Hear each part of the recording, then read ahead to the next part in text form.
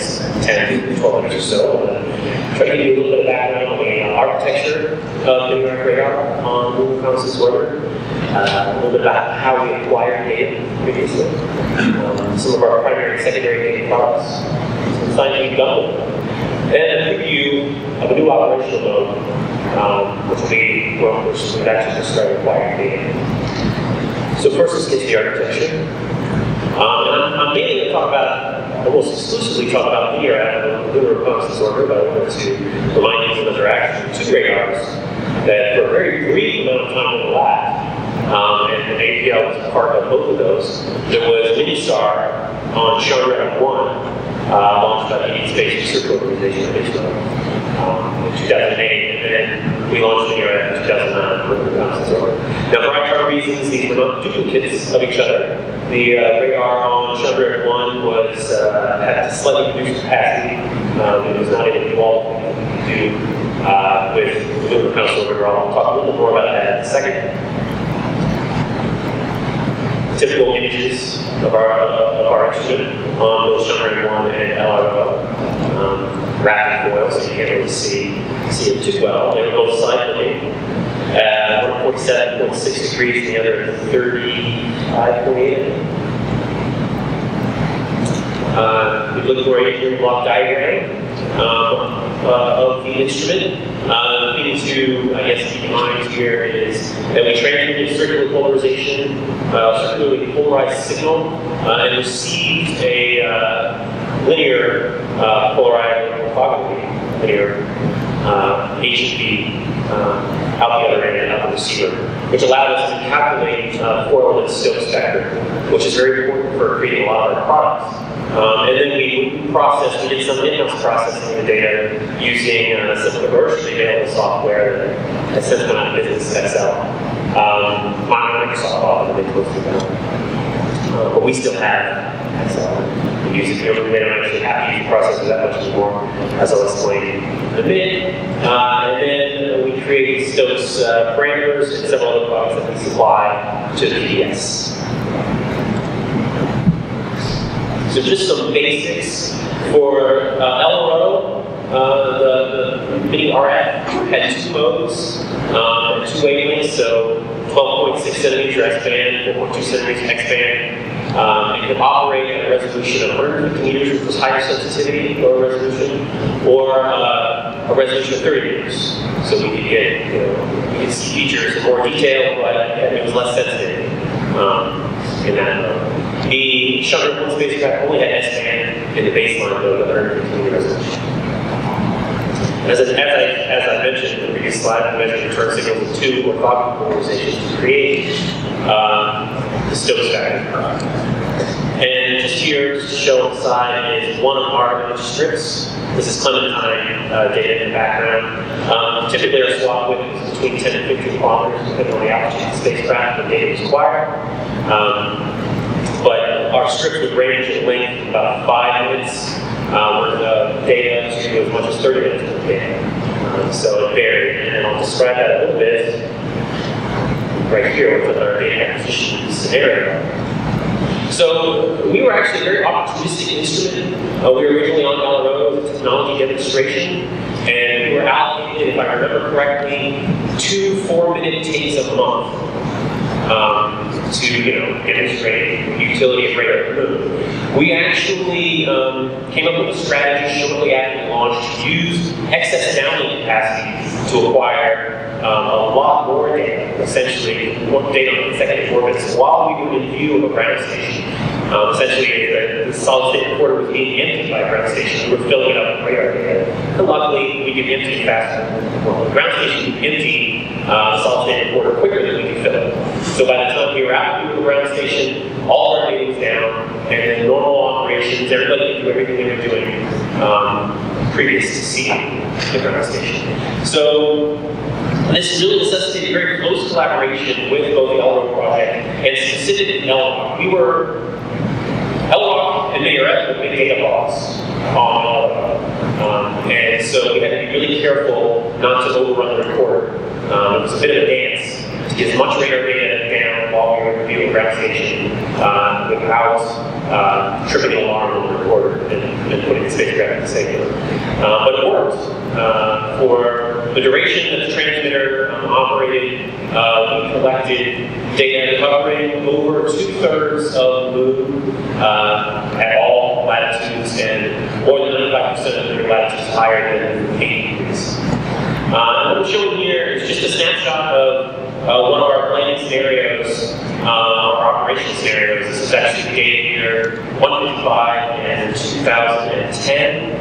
Um, in green, you see some of the coverage we had already acquired of the moon. We actually had a lot of polar coverage, but we masked that because we were in a polar campaign at that point and wanted to see uh, all the poles, see what, exactly we were covering again. Um, in red, you see what we were going to acquire in a typical day. We had several, um, well, we had two tiers of observation. We had a six-minute observation and a 20-minute observation in this particular campaign. Uh, we couldn't take all 20-minute observations in every orbit because LROC was also trying to take data at the same time, and we had to work with them to try to uh, make sure resources worked, uh, as I said, that we didn't overfill the report. Um, but over the course of several days, we could cover a lot of ground. Um, and we actually ended up with, uh, as I said, nearly did cover the poles in both east and west looking uh, radar directions um, for both north and south pole. Um, and that was really our primary goal for MIR as a te technology demonstration meant to search, sorry, it meant to search for um, potential evidence of water ice at the poles. We took a lot of non-polar data as well. I'll show you some of uh, what we've got down that in a minute. Um, so, just to uh, show you some of our primary data products, as, as I mentioned earlier, uh, we use four element Stokes vector. That comes from uh, the orthogonal polarized signal that is received.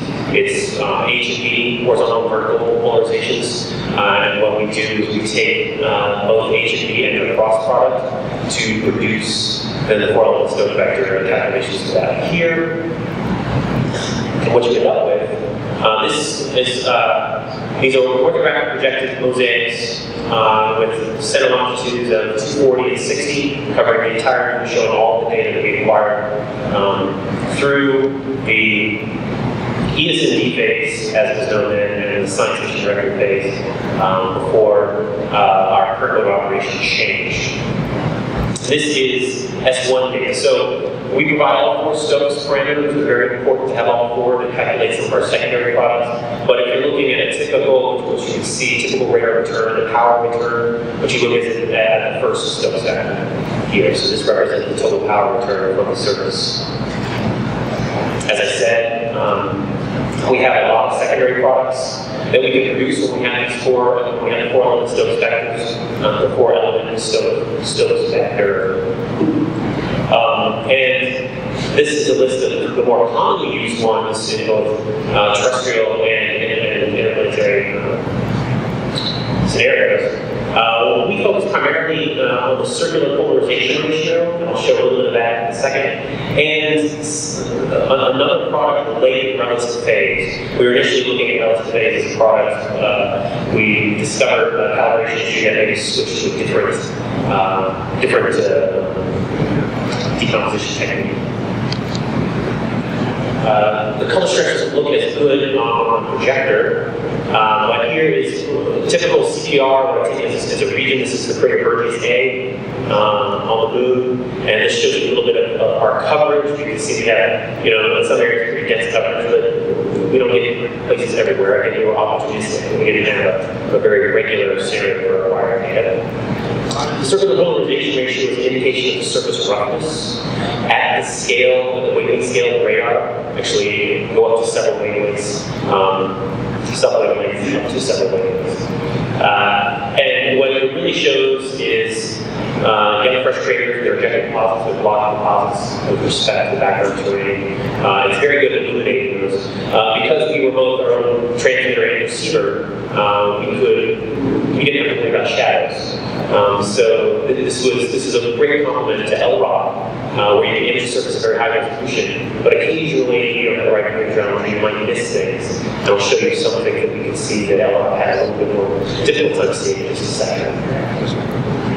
Here is that same orthographic projected global product, uh, now with the CPR Um, it's a of variation for highlands, uh, the Orientale Basin, um, and then mare regions over here. Another product that we started using recently uh, is m-chi decomposition. I mentioned earlier we were looking at product linear relative phase. We ended up with this product. It's a little more complicated. And basically, what it does is it takes radar data and decomposes it into the scattering properties of the surface. Um, this, this can be very important. I'll show an example of why in a minute. Here's the calculations. It creates an RGB image where we use first Stokes parameter some calculations using other Stokes parameters, the degree of polarization which I showed earlier, and science pi calculation that's here. Um, in this scenario, red is double bounce backscatter, so even bounces essentially. Uh, blue is, is odd bounces. Uh, and green is randomly polarized uh, component uh, of the radar. And what this can tell us uh, double bounce backscatter is an indicator, a potential indicator of ice, positive volumetric ice. Um, green, again, it's, it's, it's essentially volume scattering within uh, several wavelengths of the surface. And Bragg scattering is the predominant component of the single bounce scattering. And this image is the same image I showed here, where what you see is very high CPR uh, around this particular crater. crater extends for a fair distance, about 70 kilometers before it starts to get more diffuse. Um, in this region, when you start to decompose the scattering particles, you see um, actually very high amounts of double bounce and random polarized signal uh, close to the crater, crater associated with continuous ejecta blanket. But then it gets diffused much more quickly, um, so you get to this kind of background terrain. Background of the terrain is predominantly blue this particular product, uh, representing a predominance of Bragg scattering. Uh, doesn't mean all you have is Bragg scattering, means the predominance. Again, it's a global product where the record is showing um, the m-chi decomposition. So the archiving, I'll wrap up in one minute. Uh, we, we archive PDS Sciences node at level one. We provide the HMV and uh, real management component of the cross product. At level two, we provide a lot of products. Uh, map projected, HV, complex. We provide all four Stokes parameters. We provide opposite same polarization, which is something that is used uh, in uh, ground-based literature, uh, looking at the moon, and we provide circular polarization, which uh, we do not provide uh, at this stage. Um, I want to flip through the science. Um, not primarily a science uh, meeting uh, But here the search for ice, you know, looking for CPR signatures, um, might be indicative of ice on surface. It's not conclusive with our monostatic data, um, it's suggestive. Um, and again, looking at this crater Byrgius A, where we had a very extensive ejecta blanket, here working out where this is visible, LROC WAC data, you see um, high albedo material suggesting uh, the ejectors uh, area. And look at CPR, and it's fairly high for a, fair distance. When you get to the scattering, again, it's very it's lower much quicker. And what we uh, interpret this to mean is proceeding through the blanket of Byrgius A into the background, into the lunar background train beneath. Um, so what we can do with this product is potentially uh, measure ejecta thickness out at some distance. Um, maybe that could have implications for modeling that process. Again, some of the things we can see that uh, LROC can't necessarily see easily, uh, impact node flows, um, emanating from, from various craters. New mode of operation we're, in right now, we had a uh, anomaly on transmitter on December of 2010 uh, as a function since, but now we're operating in bistatic mode where we transmit uh, 200 kilowatt signal from Arecibo and bounces off the moon and receive it um, at the spacecraft, LRO, the implication here is volumetric ice and rocky materials both have high CPRs at beta zero when you're looking uh, with monostatic radar. You're just transmitting the surface and receiving from one detector. But when you go to higher beta um, because the CPR for volumetric water ice is due to coherent backscatter, um, it drops off very quickly, um, and CPR values while rock not. Um, so we're looking forward to uh, looking in this mode. Here's uh, data kind of fresh down on the ground from about uh, two weeks ago, uh, where we the surface. Uh, this is a, actually a monostatic data, uh, an example of a strip of monostatic data. Um, and this is the bistatic uh, signal uh, returning process which has never been done before.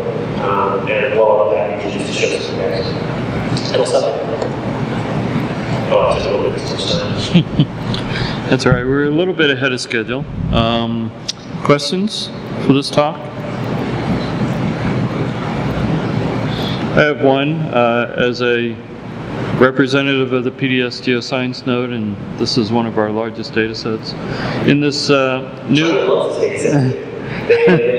loves to take it. They- they- It's one of the largest, larger downloads um, so I'm curious about the new operation mode and how often you're you'll do this and how much data that's likely Yeah, to so- generate in what areas of the planet. Yeah, uh, we're gonna, try to focus on the poles because again, since this is, this could be a great indicator of why nature's positive water and looking for that, uh, we're gonna try to take mostly polar data all over control and also to look at some other problems that are regular. We're gonna take some equatorial data as well, looking at high CPR regions, regions where we know it's just the rocky material that's causing the CPR, so we can kind of see the fall. Basically, we want to make measurements at various points along this uh, beta curve. Um, we're not, because of the complexity of the operations, now we have Arecibo involved, we have time of Arecibo, uh, and Arecibo was built to work every time we want it to, you know, and and it's not like a spacecraft where every, you know, bit counts. Um, so occasionally, uh, we'll set something up and something, uh, there's a glitch on Arecibo end. Um, and, and among other things, just trying to make sure that we get the right bisect angle, um, and then the, we have to roll the spacecraft on sometimes all three axes to get in position to uh, receive the signal that they're looking for. That's a complex operation. We're probably going to do this, we'd like to do it a couple times a month. Um, and we be, obviously, our archive in the state of the PDS, uh, we're still working on some of the processing.